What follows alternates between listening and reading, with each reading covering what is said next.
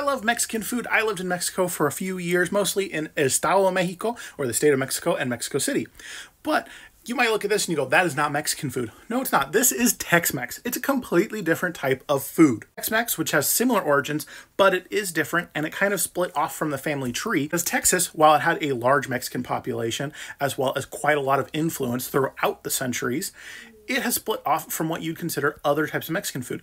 Just like you would say that northern Mexican food, the el norteño, is completely different from what you'd find down south in Mexico City. And if you went further south to more of the Yucatan Peninsula, that's also very different types of Mexican food. Mexico City, you'd see a lot of al pastor, you'd see a lot of barbacoa, you'd see a lot of things that are completely different than what you'd see up north. They do not eat burritos in Mexico City. If you go to Mexico City and you ask for a burrito, unless it's like a specific place, they're going to say, no, we don't eat that garbage here. I'll tell you that that's trash food. And so I'd tell you that this is actually Tex-Mex, which has different origin,